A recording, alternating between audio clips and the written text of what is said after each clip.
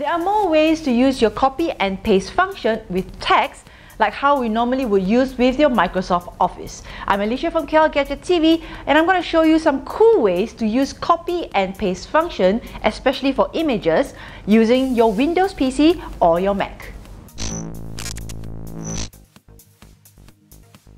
There are times when you see photos and images on the internet that you want to share with your friends. Now let's start with the print screen function using your Windows PC. What this button on your keyboard does is take a screenshot of your desktop screen and temporarily saves it. Now if you press this key and then use Ctrl V on Facebook, WhatsApp desktop app, Telegram and wherever, it pastes the screenshot onto that platform.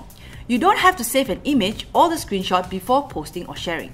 Now not only does this copy and pasting images can be done using the print screen function, you can also copy and paste images that you've googled online. Say you are doing a mockup and want to use a photo you have googled online. Instead of saving the photo and then importing it into your software, you can just right click, copy image and Ctrl V on your software of choice such as Adobe Illustrator, Microsoft Word or even on WhatsApp web and Facebook. Found a juicy content on Facebook you want to share with your friends? Well, right click on the image, select copy image and Ctrl V on your favorite desktop chat app. Now this also works with your Mac. Instead of using Ctrl V, just use Command V to paste it.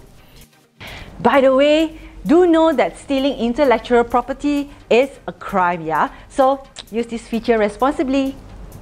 Now next, let's talk about a snipping tool that comes with Windows 10. This is actually a really handy tool. Not only can you use it to take whole screenshots, you can also select whatever you want to copy. Then you can either save it as a file or copy it and paste it onto anywhere else just like the print screen function. Now just launch the app, click on new and proceed to snip the area you want to copy. You see this arrow here next to the new button? You can select what kind of snip you want to use, although in my personal opinion, the rectangular snip is the most useful. Now the delay function is a little useless though. It is mostly used to take a screenshot after a delay of up to 5 seconds. So far, I've not found any real use for this. I would just rather print screen to capture what I really need in real time. So, why use the snipping tool? The difference is that the snipping tool can be used to copy a selection instead of the whole screen in case you don't really want to share whatever you have on the other tabs. Hey guys, thanks for watching. I hope you find the video useful. Um, if you have any questions regarding this copy and paste function, do comment below. Don't forget to like our video and subscribe to our channel over here and follow us at KL Gadget Guy on our social medias like you see down here. You can also follow me on Queen Ellie 007 and till the next video, this is Alicia signing off. Bye!